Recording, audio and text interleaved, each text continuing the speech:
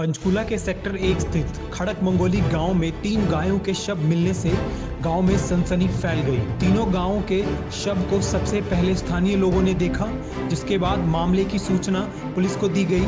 वहीं एक साथ तीन गाँवों के शव मिलने से गाँव में सनसनी का माहौल बन गया है और भारी संख्या में गांववासी मौके पर एकत्रित हो गए हैं।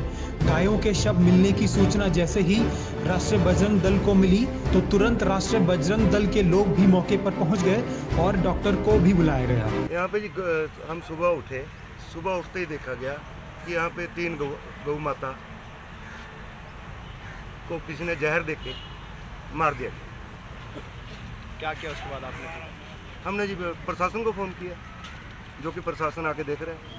देख नहीं रहा चौबीस घंटे इंटीमेट बोलो चौबीस घंटे के अंदर अंदर जी कार्रवाई होनी चाहिए हमारा तो ये कहना है क्या लगता है किसी ने हत्या की है हत्या की है जी ने जहर दिया गया किन की गाय है ये आवारा पशु हैं जी। चौबीस घंटे बाद कार्रवाई ना हुई नहीं, नहीं, अब- अबारा प्रशासन पशु जिम्मेदार होगा इसका हाँ जी अगर चौबीस घंटे बाद कार्रवाई ना हुई तो उसके बाद प्रशासन जिम्मेदार बता रहे हैं कि किस स्थानीय निवासी किसी गुजरों की है गाय नहीं जी ऐसा कुछ नहीं ये बेचारी घर घर जाके रोटी मांगती थी हर बंदा इनको रोटी डालता था यहाँ पे लोकल वो क्या था ये अपने यहाँ के जो स्थानीय लोग हैं उन्होंने अभी सूचना दिया हमें कि यहाँ पे तीन गौ माता जो है मृत अवस्था में पड़ी है। और दो दो सेक्टर की सूचना है दो और है मतलब टोटल सात गऊ हैं। दो चंडी और पूरे योजना के तहत ये कार्य करा हुआ है।